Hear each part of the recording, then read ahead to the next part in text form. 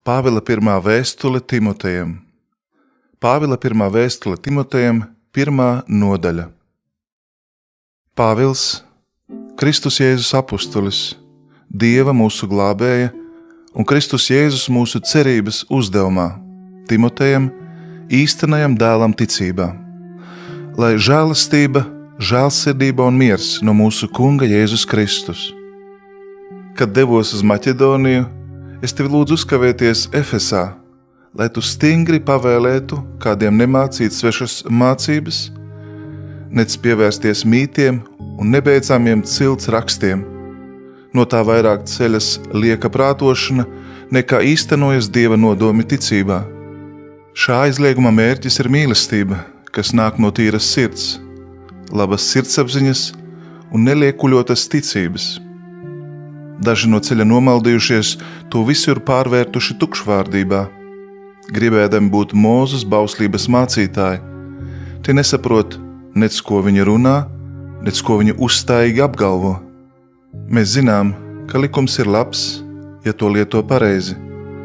Apzinoties, ka likums nav pret taisno, bet pret likuma pārkāpējiem un nepaklausīgajiem, bezdieviem un grēciniekiem, neticīgajiem un nešķīstajiem, tēva un mātes nogalinātājiem, slepkavām, izvirtuļiem, vīru piegulētājiem, vergu tirgotājiem, krāpniekiem, viltus lieciniekiem un pret visu to, kas ir pretējs veselīgai mācībai un neatbilst svētā dieva godības evaņģēliem, kas man uzticēts.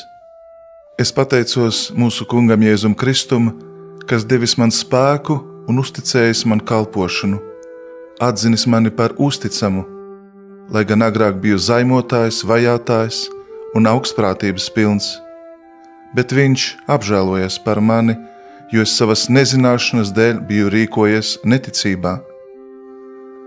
Mūsu kunga žēlastība ir pārmēru vairojusies, dodot ticību un mīlestību Kristu Jēzu.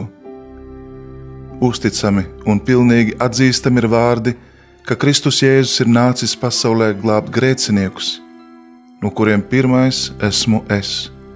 Bet apžēlots es esmu tādēļ, lai manī pirmajā Kristus Jēzus parādītu pacietību par paraugu tiem, kas ticēs uz viņu lai iegūtu mūžīgo dzīvību. Gods un slava, lai ir mūžības ķēniņam, neiznīcīgajam, neredzamajam, vienīgajam dievam uz mūžu mūžiem. Āmen!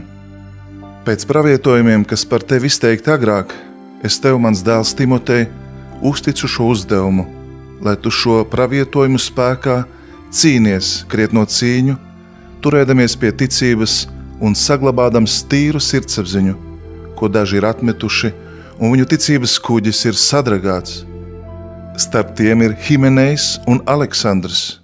Viņus esmu atmetis sātana varai, lai Dievs viņus pārmācītu vairs nezaimot.